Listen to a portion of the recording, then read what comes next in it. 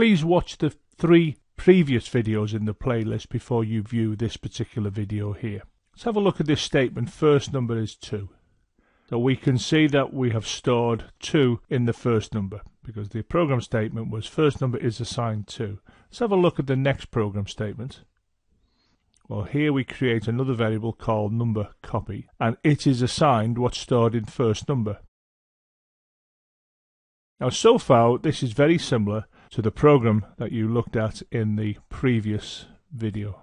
This has got this additional step here, though. First number is 7. And you can see that the 2 that was stored in the variable first number has now been overwritten by the 7 because 7 has been assigned to first number.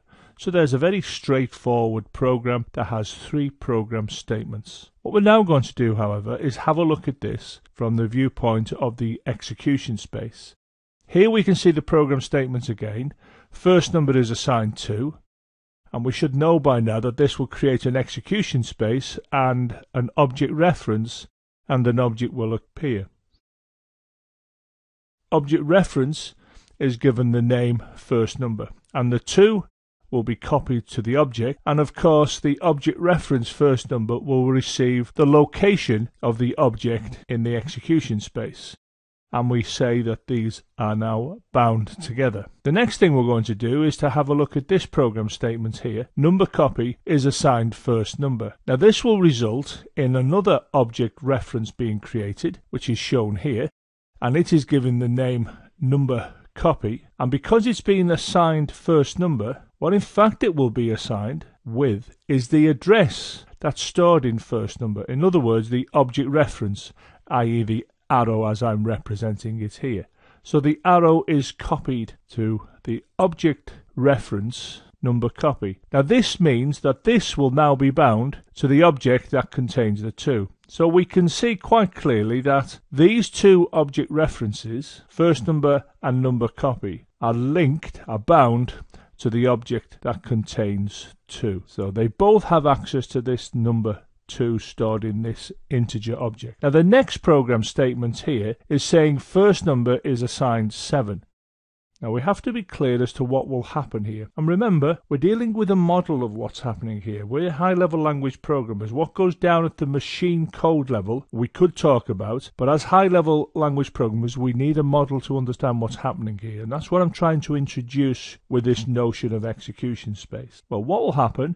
An object will be created, a different object, and this object will receive the 7. Now, that object's been created, and we can see it was done by the program statement first number equals 7. So that particular program statement will result in the first number object reference receiving the address of the object that contains 7 which I'm demonstrating here. Now, consequently, the object reference first number can no longer be bound to the object containing 2 because it no longer has the arrow pointing to it. It no longer has the location. So what we have to show now is that that binding has gone. Of course, the reason for that is this is now bound to the 7. So what we can see now is that we have two objects in the computer's memory. First number is pointing to the object that has 7. It was pointing to the object that contained 2 right at the very beginning of the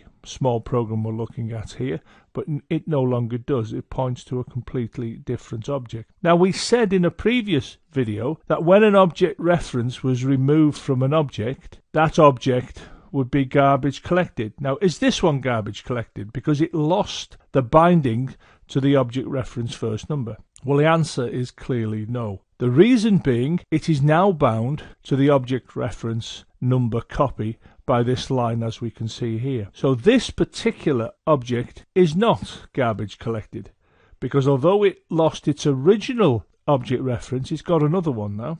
And that's what the Python language looks for. It looks to see if there are any objects in the execution space that are by themselves. And by that I mean don't have an object reference bound to it. Now you have a choice here when you consider this simple program. Should you go with the simple model that I've been talking about or should you go with this one? Well, as I recommended in previous videos, you should really get a handle on both. So you've got a choice of looking at this one or in fact this one here which we looked at right at the very beginning of this particular video. Check out the supporting website for these videos and consider subscribing to the YouTube channel and you'll get an automatic update every time I upload a new video on Python.